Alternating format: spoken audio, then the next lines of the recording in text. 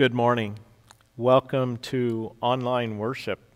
Today is the first Sunday in Lent, and that means we dig today a little bit into the temptation of our Lord Jesus, and we'll see how maybe that applies to our lives today. It is the first Sunday in Lent, and we're coming to you from Grace Lutheran in Visalia, California.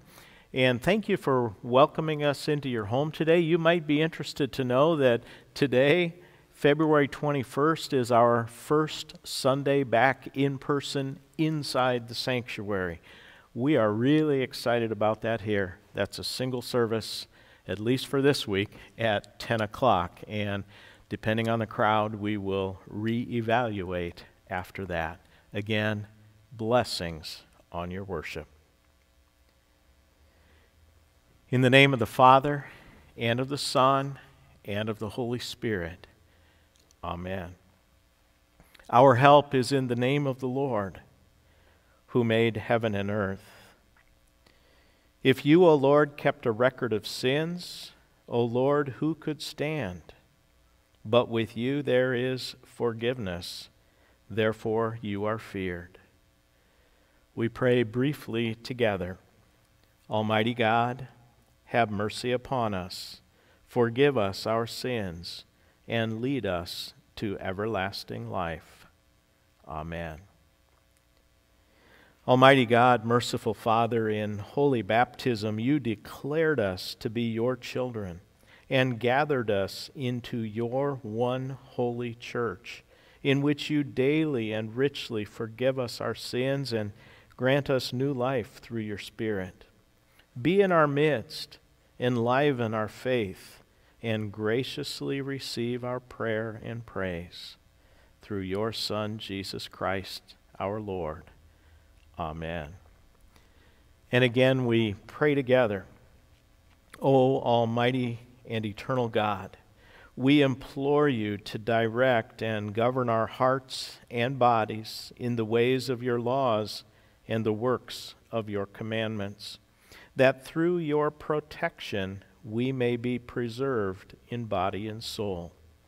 Through our Lord Jesus Christ, your Son, who lives and reigns with you and the Holy Spirit, one God, now and forever. Amen.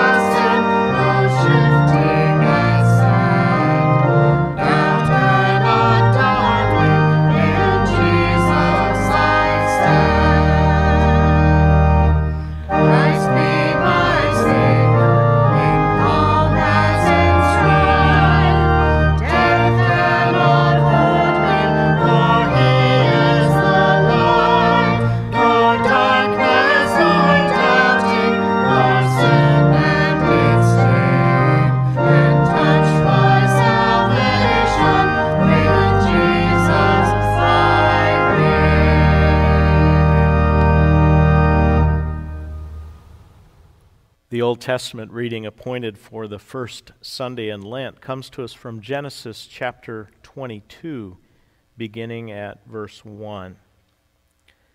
Sometime later, God tested Abraham.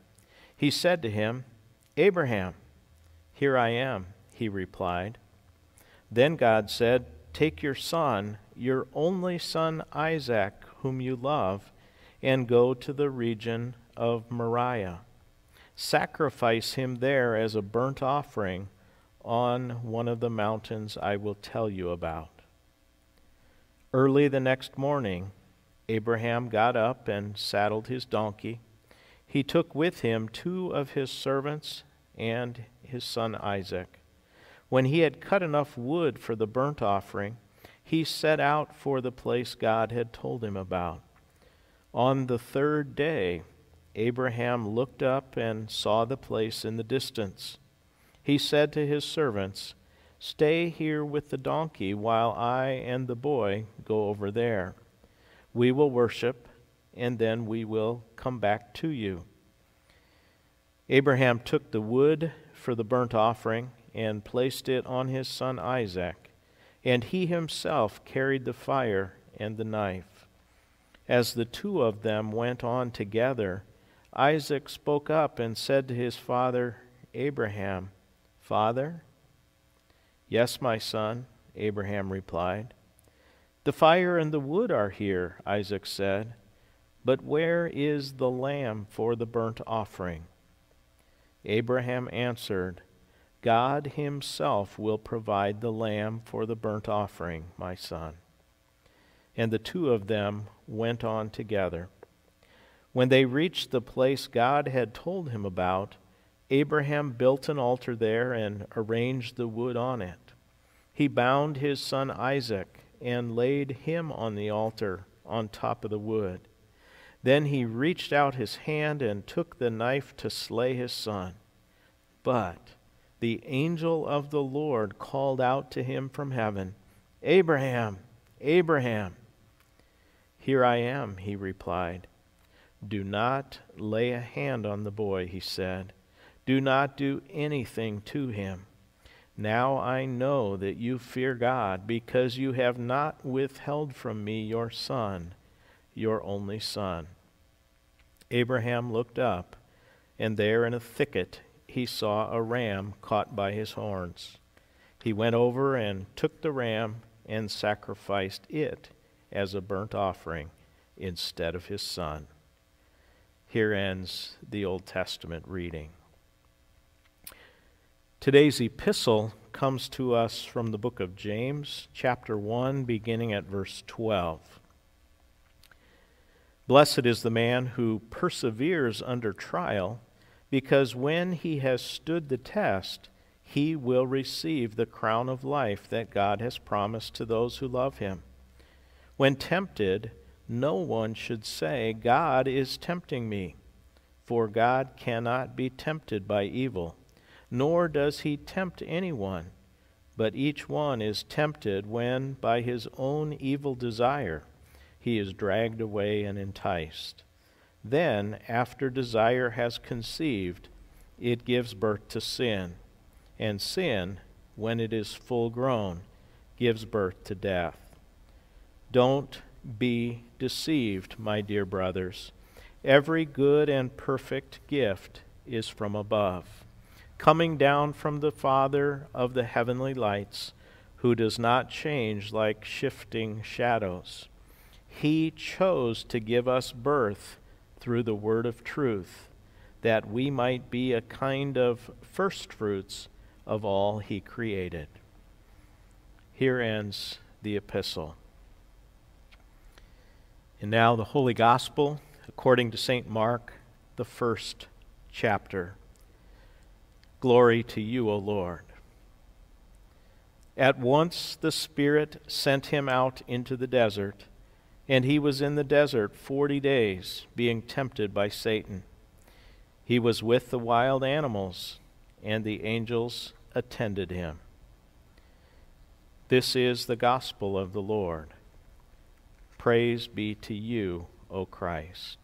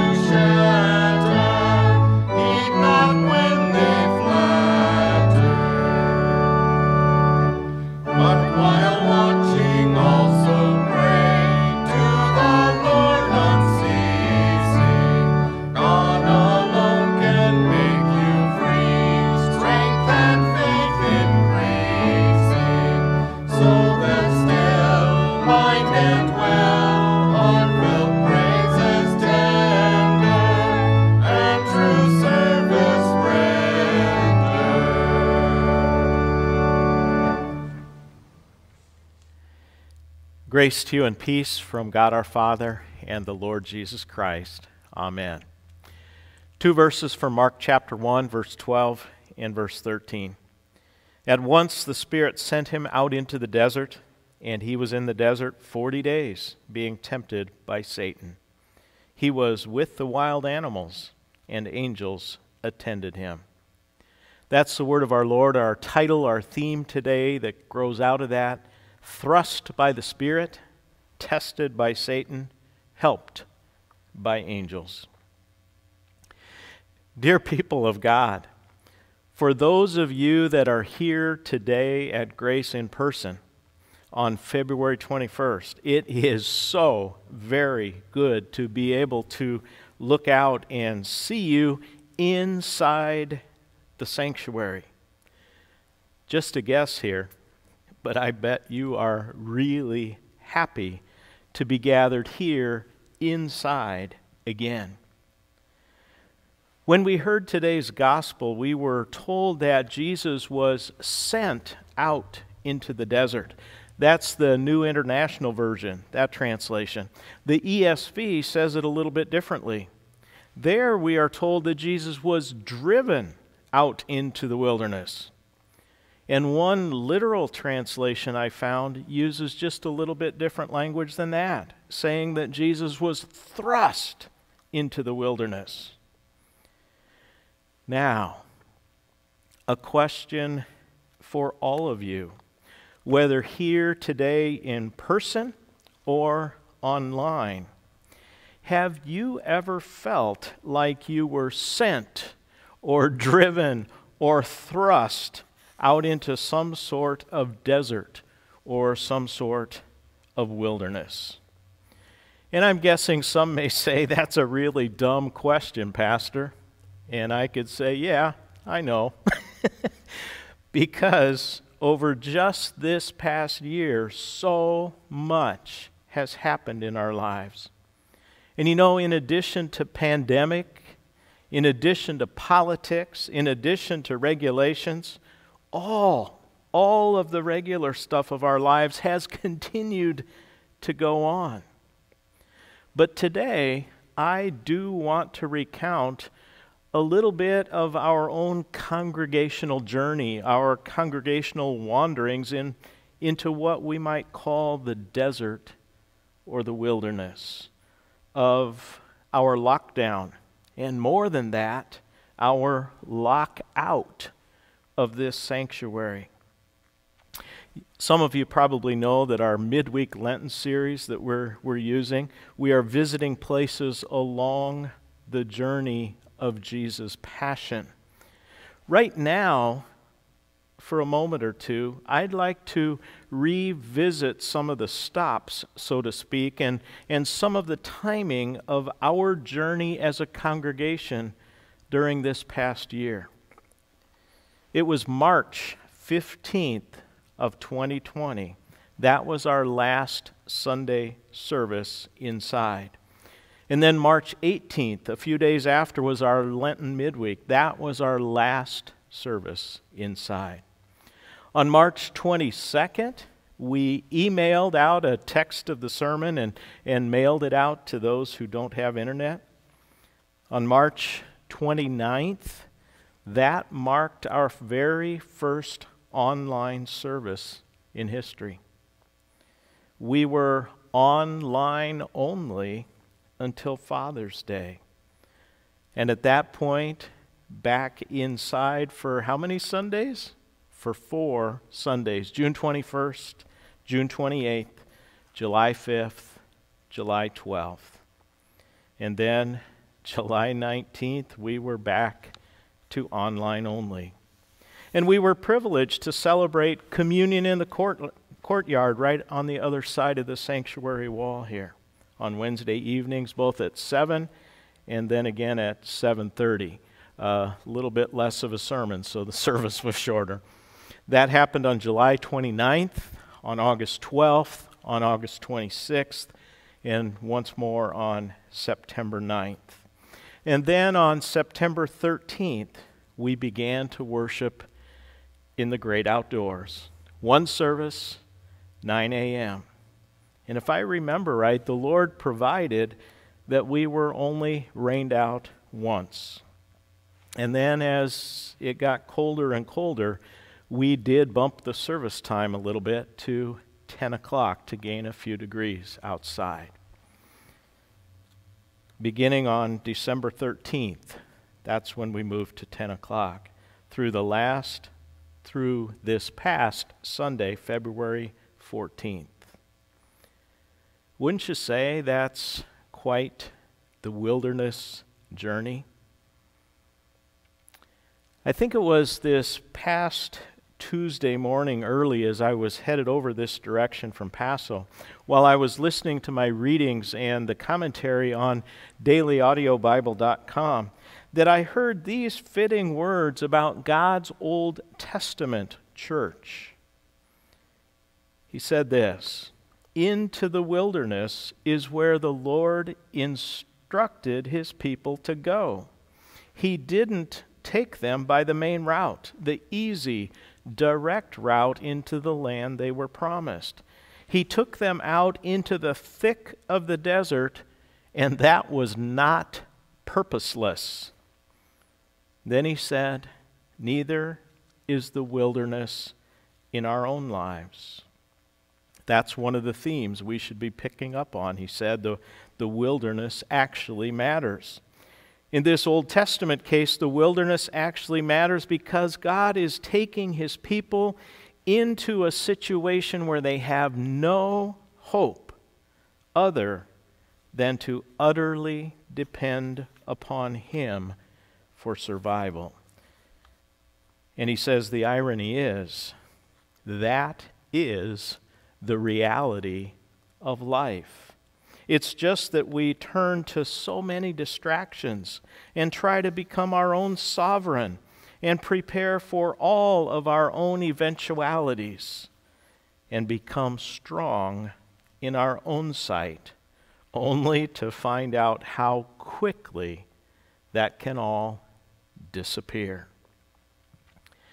How true that is, right? We all experienced it. For us, everything changed pretty much overnight. You may remember that a few weeks back we celebrated the fact that Jesus was baptized by John in the wilderness, baptized into solidarity with us. And then at once, or that word that Mark and the Holy Spirit love to use, immediately, the Holy Spirit sent drove, thrust Jesus into the wilderness. I kind of like the uh, English Standard Version there. It sort of encourages a bad joke. Did you know that Jesus had a chauffeur? Did you catch that?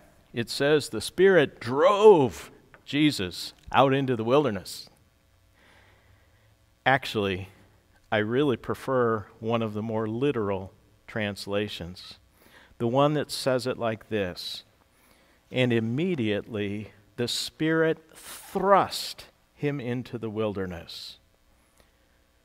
I think when we're honest with ourselves, that's pretty much what it takes to get us to go places that we just don't want to go, right? Some thrust, some push, as if maybe from a rocket booster. Out! Out into the wilderness.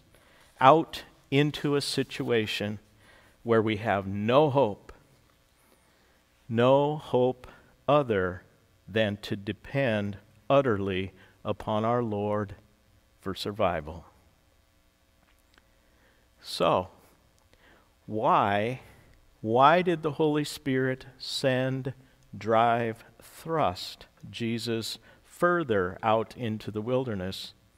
Why? To be tempted by Satan. You know, it's interesting to take a look. Matthew and the Holy Spirit take 11 verses to tell this account, the detail of Jesus' temptation. Luke and the Holy Spirit use 13 verses. Mark and the Holy Spirit, in their brevity and in their immediacy, get it done in only two verses. And I'm guessing most of us have probably heard the full accounts of Jesus' temptation before. A, favorite single volume resource of mine is the old Concordia self study commentary, and it sums it all up like this It says, The devil appeals to him and bids him exploit a son's privilege.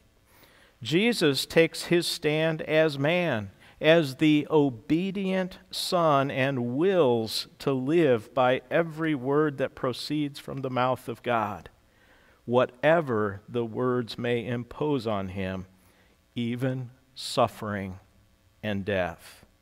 This same will refuses to invert the relationship between God and man by tempting God, putting him to the test, experimenting with him, manipulating him, trying to make God live by the word that proceeds from the mouth of man.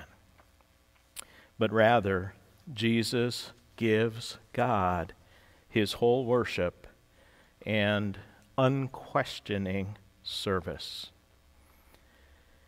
It is significant, I believe, that in all three accounts, it is the Spirit that led, sent, drove, thrust Jesus out into the wilderness. Why do I think this is significant? Because it shows us exactly who is always, always in charge. Jesus' confrontation with the devil comes by God's will, not by any initiative of Satan. And throughout the confrontation that comes by God's will, Satan is really saying to Jesus, Use your power to blast men, to obliterate your enemies. Win the world by might, by power, by bloodshed. And God is saying to Jesus, Don't give in.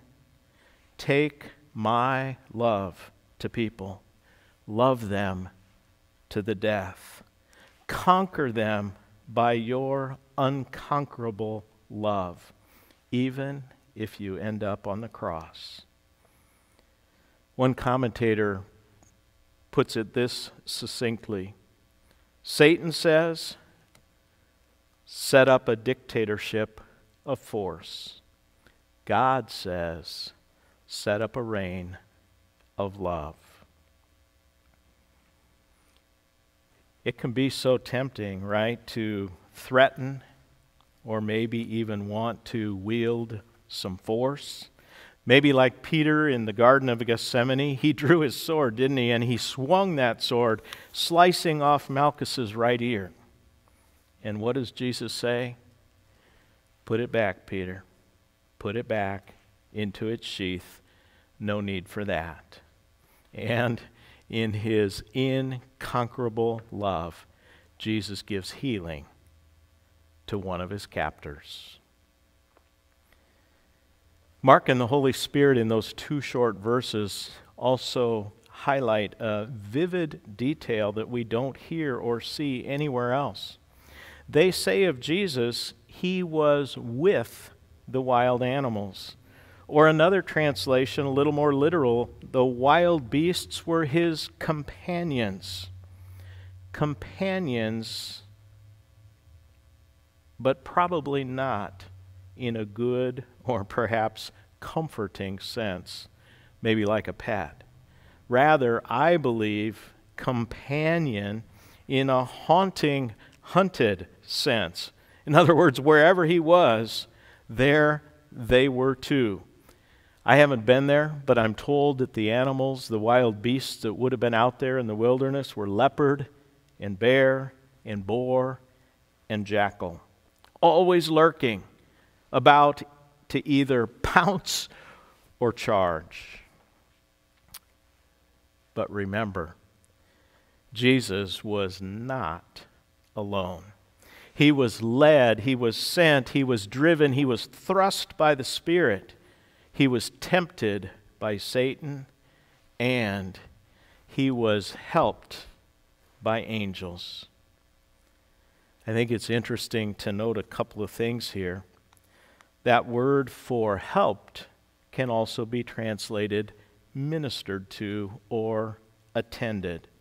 And if you check the original verb form, the, the action is ongoing. That is, the angels were helping Jesus ongoing. The angels were ministering to him ongoing. The angels were attending him ongoing. In other words, Jesus was not left to fight the battle alone. And you know what? Neither are we left to fight our battles alone. Scripture tells us so. Hear these couple of comforting words. From Psalm 91, verses 11 and 12 He that is the Lord will command his angels concerning you to guard you in all your ways. They will lift you up in their hands so that you will not strike your foot against a stone. And then there's Hebrews chapter 1, verse 14, where it asks a question Are not all angels ministering spirits sent to serve those who will inherit salvation? And we'd answer that question yes. Yes, they are. They are ministering spirits sent to serve. And yes, yes, that's us, those who will inherit salvation. And one more thing if you've ever done a word search or a word study, you might have noticed that certain words seem almost interchangeable. Words like tempt, temptation, test, testing, trial, trials, suffer, suffering. These words in the Bible can sometimes seem kind of intertwined and, and interrelated, and sometimes it can be confusing. So, how? How do we make sense of it all? It seems to me that one way to keep things straight is simply to remember these two things.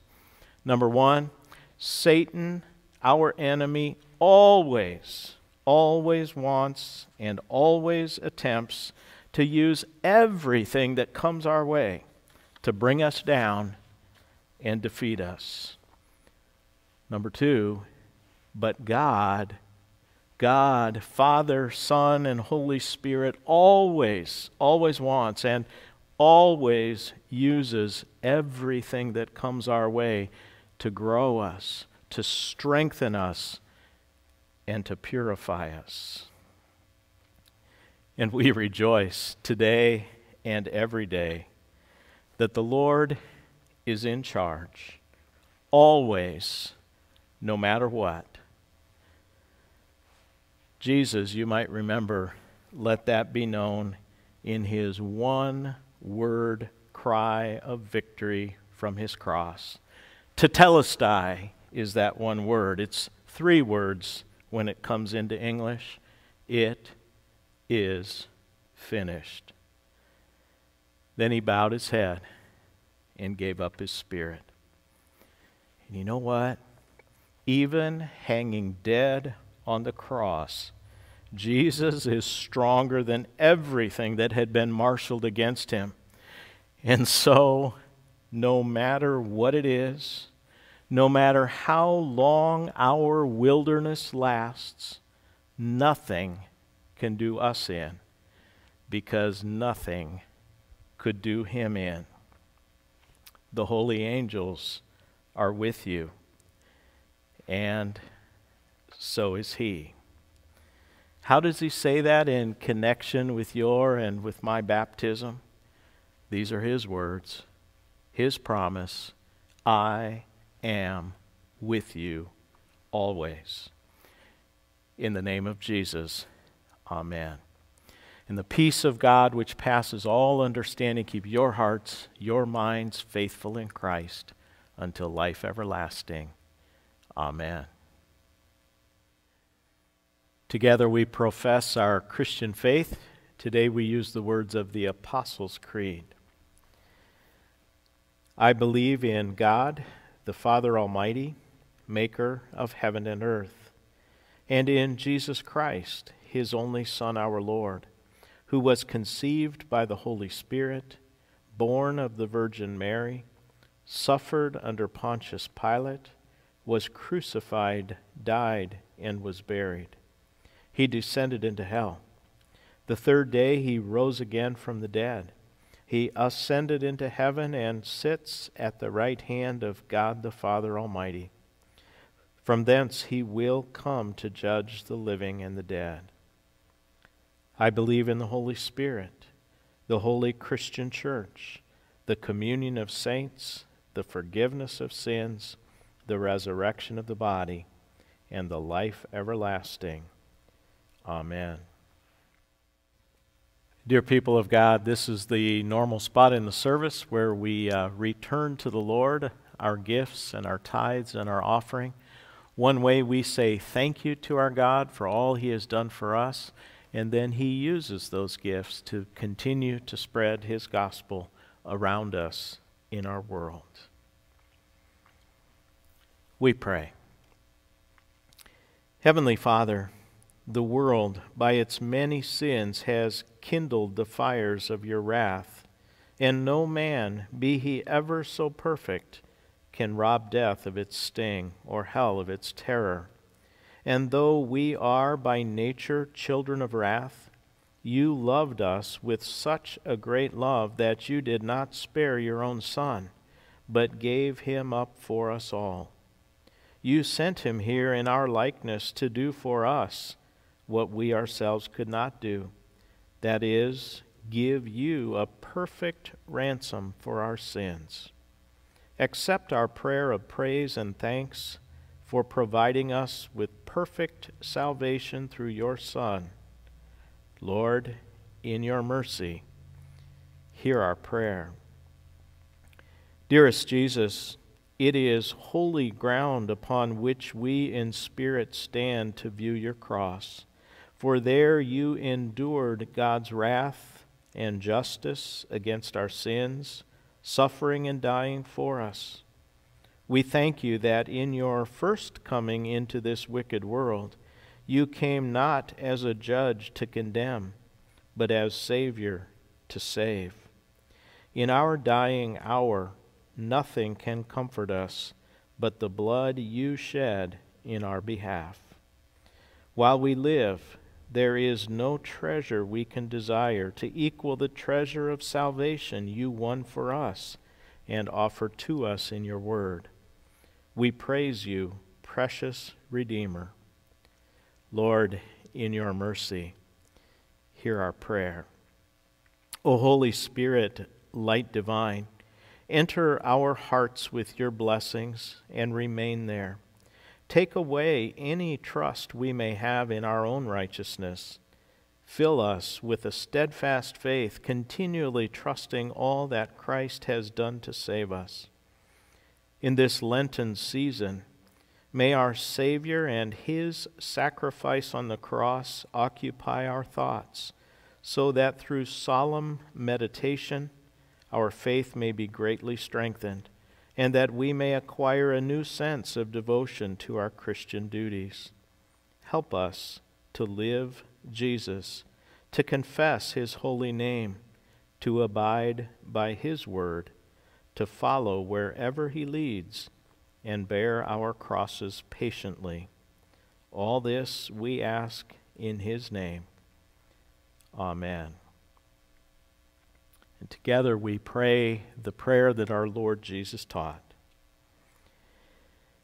Our Father, who art in heaven, hallowed be thy name. Thy kingdom come, thy will be done on earth as it is in heaven. Give us this day our daily bread, and forgive us our trespasses as we forgive those who trespass against us. And lead us not into temptation but deliver us from evil. For thine is the kingdom and the power and the glory forever and ever. Amen. Receive now the benediction of our Lord. The Lord bless you and keep you. The Lord make his face shine upon you and be gracious unto you. The Lord lift up his countenance upon you and give you peace. Amen.